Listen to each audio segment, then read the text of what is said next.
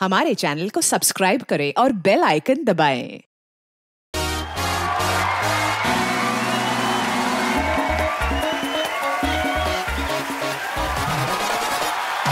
छोड़ छोड़ ओए मेरा कच्चा छोड़ मेरा कच्चा छोड़ मेरा कच्चा छोड़ मैं कह रहा हूँ मेरा कच्चा है।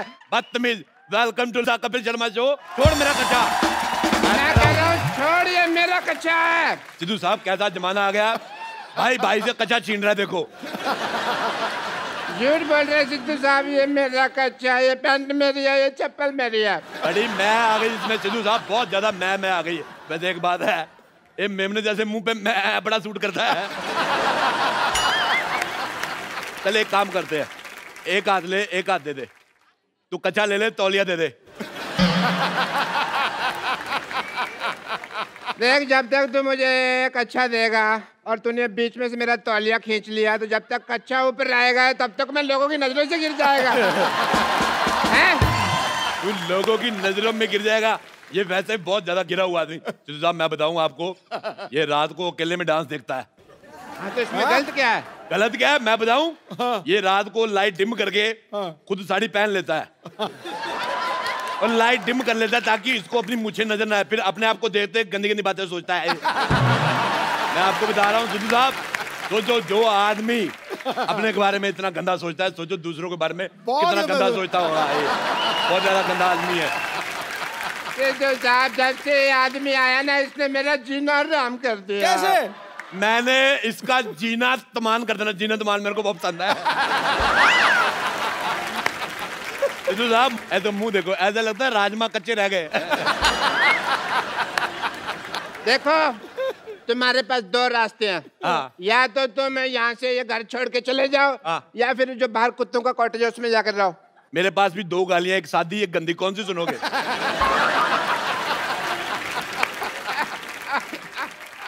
बदतमीज आदमी। हे भगवान क्या यही दिन देखने जागे थे मेरे ये आदमी कब से मेरी इंसल्ट किए जा रहा लोग पंद्रह मिनट से हंसे जा रहे हैं मैं क्या कर रहा क्या तुम्हारे आँसू सूख गए भगवान?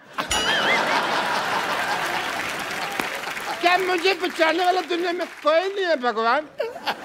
हेलो भगवान? अब बेवकूफ़ आदमी भगवान का लंच टाइम है।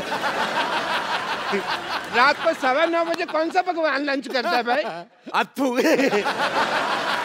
ए, सब गंदा है पर दंदा है। प्यार में अबुन अंधा है। अपुन से जो पंगा लेगा उसके गले में फंदा है क्योंकि अपुन का फेवरेट हीरो कलभूषण कर बंदा है। बोले तो अपुन का नाम है मदन चिकना। ए, अपुन इधर वार्ड लगा देगा बस एक बार खड़ा कर दें अपुन को। ये गुंडों के साथ ऐसे कौन बिहेव करता है गुंडा है वो। गाय चला रहा है चाकू निकाल रहा है। देखो चाकू तो मैंने दे दिया और भी सामान कुछ मंगवाना तो बता दो। होम डिलीवरी फ्री है ना कुछ मंगवाना तो बता देना। कहाँ जा रहा है भाई? मैंने तुझे इसके नाम की सुपारी दी हुई है। अभी दे देना वापस। ये लो अपने सुपारी रखो वापस। ना चबाई जाती है ना रखी जाती है। रखो। तू मेरी नज़रों से गिर गया तू। बहुत ज़्यादा गंदा आदमी है तो एक चाय वाले के सामने मेरे से ऐसे बात नहीं कर सकता। मैं चाय वाले के सामने तेरे मुँह पे थप्पड़ मारूँगा लिप टू लिप थप्पड़ ऐसे। हाँ। ठीक है राजेश ठीक है। खत्म हुआ हमारे आज से सारे रिश्ते। ठीक है। ड्राइवर! गाड़ी निकालो मैं जा रहा हूँ यहाँ से. कौन सा गाड़ी? कौन सा driver? Shut up thank you ऐसी लड़ाइयाँ करके धौंस दिखाकर एग्जिट लेने का मज़ा तू के जाने गरीब आदमी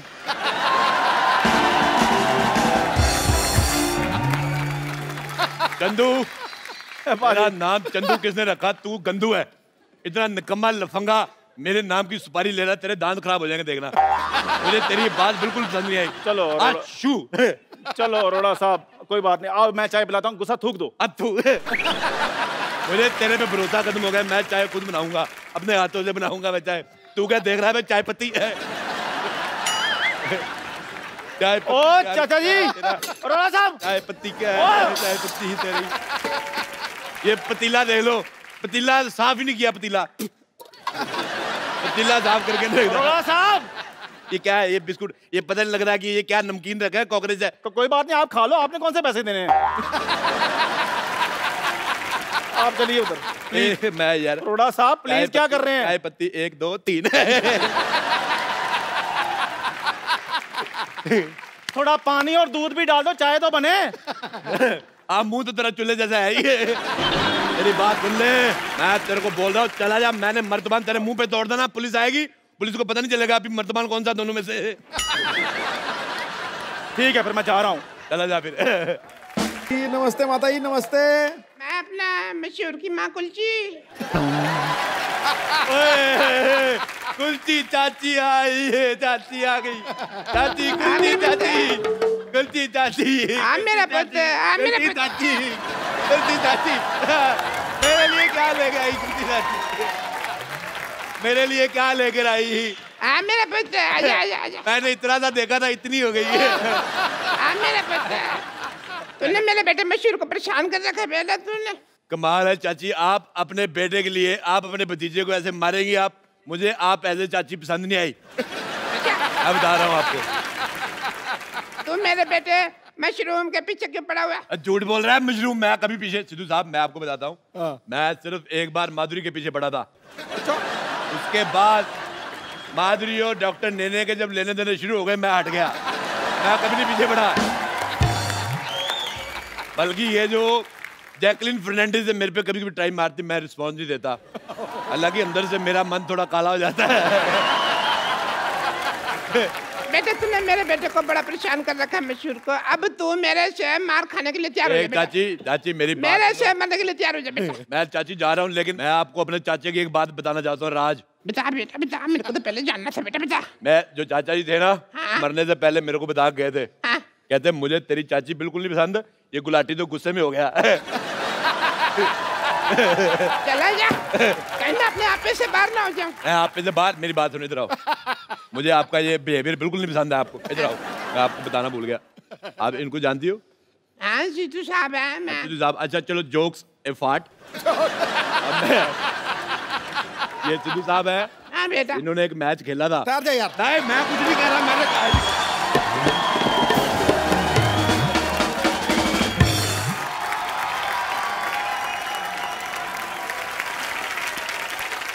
इसने मुझे कितना बदनाम कर दिया है? मैं वापस आ रहा था ये लड़की मुझे पूछती है आप ज़ीरो पे आउट हो गए थे ना सर? और मैच तो मैंने भी देखा था वो चाची तू भी? हाँ बेटे राजेश मैं पहुँच गई बेटे मेरे को तेरा बॉम्बे पसंद नहीं आया। ना मेरे को अमिताभ बच्चन ले लिया ना शाहरुख खान ले लिया मेरे को पसंद नहीं आया।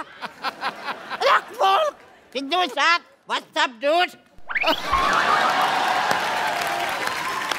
मेरे को पहचाना कि नहीं? यारा यारा मैं रोड़े के साथ आपका मैच देखने आई थी एक बार। मैंने पढ़ पढ़ कर से बस नहीं फिर शायद रहे होते मैं स्टेडियम पहुँची आप तो मेरे जाते उठ गए। मुझे बिल्कुल पसंद नहीं आया। सिद्धू बेटे मैं आपको एक बात बताऊँ? हाँ। दही खा के जाया करो। अच्छा। हैं? अब तो रिटायर हो गए हैं सिद्धू साहब। तो रिटायर भी तो दही खा सकता। है अरे मैं मर लुच्ची तू। लुच्ची लुच्ची लुच्ची। हाँ बहन जी मैं ही हूँ। है बड़ा एटीट्यूड आ गया तेरे में तेरे को इतना नहीं पता जेठानी के पैर छूते मर जाने पैर छू।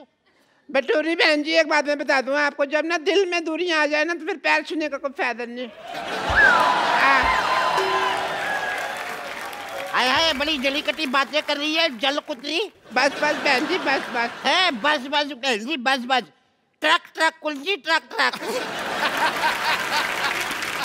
देखो ज़्यादा मेरे से बकवास नहीं करनी वरना मैं अपनी मर्यादा लांग जाऊँगी बहन जी हाँ मैं बता लांग के देख मुझे तेरा लांगा पसंद नहीं है फिर कहती मिलेगी मेरे लांग बच्चा। मुझे पसंद नहीं है तेरी शक्ल मेरी शक्ल मुझे आपका बेटा राजेश पसंद नहीं आया वो सारा खानदान थुके फेंकता है इनका।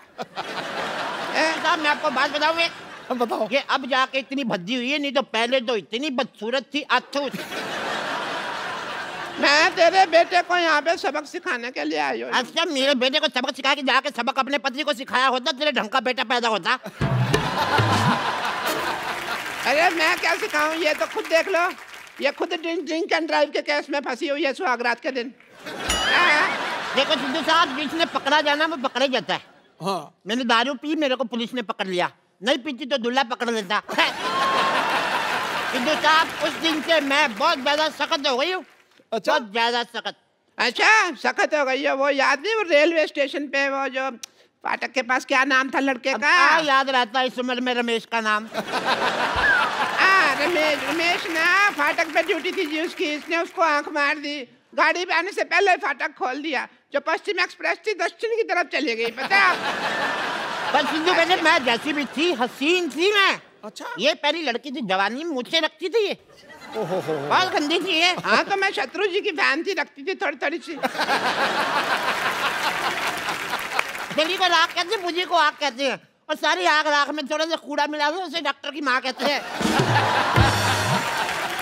दफ़ा ले यहाँ से मेरे बेटे को परेशान करके रखा तुम लोगों ने बटोरी बहन जी कम से कम अ, अपनी ज़ुबान का तो ख्याल रखो हमेशा झूठ बोलती रहती हो मेरे बेटे ने नहीं तुम्हारे बेटे ने मेरे बेटे को परेशान करके रखा हुआ है तुम लोगों ने मेरे बेटे को परेशान करके रखा सब पता है मेरे को जंदू ने आने दो उस नमक हराम को मैं ये सारी आग उसने लगाई है मैं उसको ठीक कर दूँगा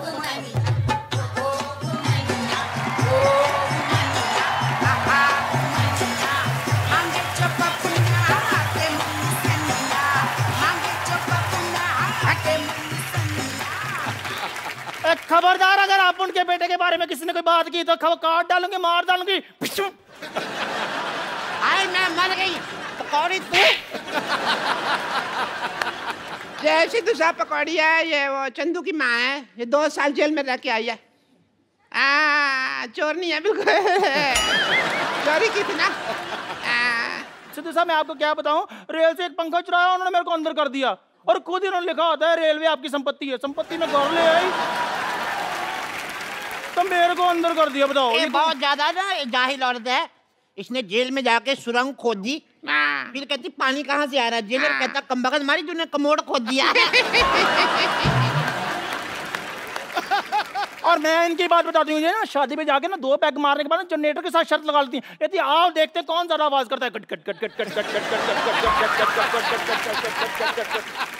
अच्छा इसने क्या किया? टेबल फ़ैन लिया, पागल ने। टेबल फ़ैन लगा दिया, ऐसे ऐसे करके दो दिन तक हवा लेती रही। बाद में मैंने कहा, बटन है दबा दे खड़ा रहेगा, टेबल फ़ैन। इसने जिम ज्वाइन किया, सिद्धू साहब। कोच कहता है, रोड में प्लेट डालो। कहती, प्लेट तो डाली, रोटी कब डालोगे? पागल है बहुत ज़्यादा। इधर आप उनका भेजा फ्राई नहीं करना। हाँ मर्डर का मूड है तो बोलो। आगे दो साल का जेल एक्सपीरियंस है मेरे को बता रही हूँ। जेलर से बात की हुई काफ़ी दिन हो गए मेरे को बता ऐसी भाषा बोल रही मुझे तेरी बोली पसंद नहीं है बिल्कुल भी।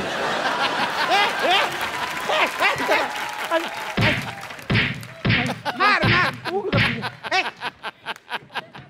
मैं तेरी हेल्प कर रही हूँ तो मेरे को ही मार दिया अरे कितने अच्छे दिन थे। मैं बता नहीं सकती आपको। कितने अच्छे थे बता दो। ये मेरे लिए खाना बनाती थी। अच्छा। ये भी तो मेरी बड़ी सेवा करती थी। मेरे पैर वैर दबाती थी कम्बा का हाँ मैं बता दिया।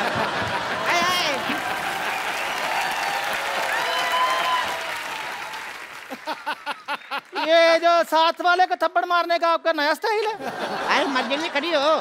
खड़ी हो खड़ी हो कर करके तो आपने सारा काम खराब किया है। ये तो मेरे पैर भी दबाती थी बहुत ज़्यादा प्यार था। चल बोल अपनी लाइन। आओ बिडू आ ए डब्ल्यू डब्ल्यू डब्ल्यू डब्ल्यू आओ। अपनी सहेली को भूल गए तुम्हें चाय पिला बनाकर पिलाती थी तुम्हें खाना खिलाती थी। आई पागल तेरी याद आज कमज़ोर है तू सहेली छोड़ी ना जी। तुझे नौकरानी थी हमारे यहाँ पे। लेकिन थी ये बड़ी कम बगत हमारे घर में जितने बारिश पैदा हुए मुँह ढक के पैसे मांगने आती थी ये। हाँ। गंदी है ये। वारिस पैदा किए इन्होंने बिल्कुल रत्न टाटा पैदा किए इन्होंने। ये देखो एक ने पैदा किया रजेश अरोड़ा जो सबको कहता है मुझे तुम बिल्कुल पसंद नहीं आए। हाँ इसका वाला बहुत टैलेंटेड है पैदा होते ही कहता चाय चाय चाय चाय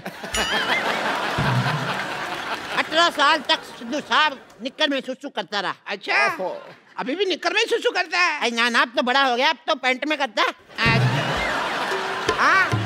हाँ तो उसका सुसु उसकी बैंड जहाँ मर्ज़ी करे आपको क्या मौत पड़ रही है? मुझे लगता है इसकी मार भूल गई हमारी ये। अरे बड़ा बचपन में खेलते इतने सालों बाद मिले आज तो थोड़ा डांस वांस तो बजाए give me five give me five एक और.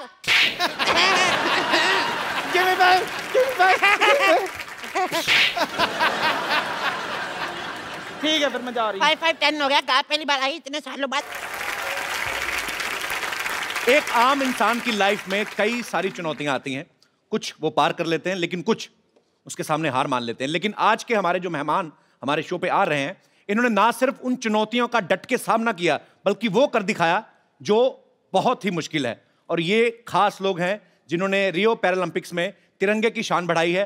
प्लीज़ वेलकम आपकी जोरदार तालियों के बीच दीपा मलिक, देवेंद्र झजरिया, मरियप्पन थंगावेलू, एंड वरुण भाटी। आप सभी का हमारे शो में बहुत स्वागत है। आइए यहाँ पे विराजमान हो जाइए। आइए। दीपा जी आप यहीं पे कंफर्टेबल हैं? Want to sit on chair no. Fine. मैं अपनी कुर्सी नहीं छोड़ती। मैं मैं शायद खिलाड़ी नहीं होती एक बहुत अच्छी पॉलिटिशियन बनती और कभी कुर्सी नहीं छोड़ती। इनका तो आते ही शुरू हो गया है। और इनके साथ ही हमारे बहुत सारे स्पेशल मेहमान और भी हैं जो यहाँ पे हमारे साथ मौजूद हैं। इन सबके लिए जोरदार तालियाँ। जिन्होंने पैरालंपिक्स में पार्टिसिपेट किया, आप सबका बहुत बहुत स्वागत है हमारे शो में। बहुत बहुत स्वागत है आप सबका। शुक्रिया। Thanks for coming thank you so much तालियाँ जोरदार होनी चाहिए यार। और इस तरफ़ भी हमारे कुछ खिलाड़ी जो हैं यहाँ पे मौजूद हैं, आप सभी का भी बहुत बहुत स्वागत है। बहुत बहुत स्वागत है। शुक्रिया। Thanks for coming thank you thank you so much शुक्रिया। देवेंद्र जो हैं, ये जेवलिन थ्रो में इन्होंने गोल्ड मेडल हासिल किया है जोरदार तालियाँ। मरियप्पन ने हाई जंप में गोल्ड मेडल हासिल किया है।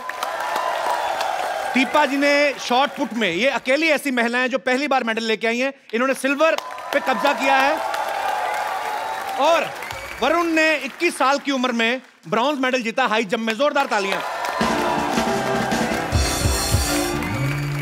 और इस तरफ़ जो है, सत्यनारायण जी ये कोच हैं वरुण के और मरियप्पन के।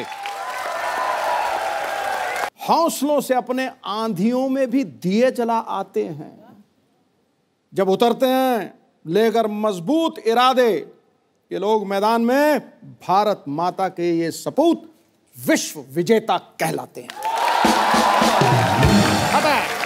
बिल्कुल, बहुत बड़ी बात है बाजी और हमारे यहाँ जो भी मेहमान आते हैं ना, मैं अक्सर उनसे पूछता हूँ कि क्या कभी आपने सोचा था हमारे शो में आने का मौका मिलेगा? और कसम से आज मैं कहना चाहता हूँ कि मैंने कभी नहीं सोचा था कि आप जैसे हीरोज के साथ स्टेज शेयर करने का मौका मिलेगा।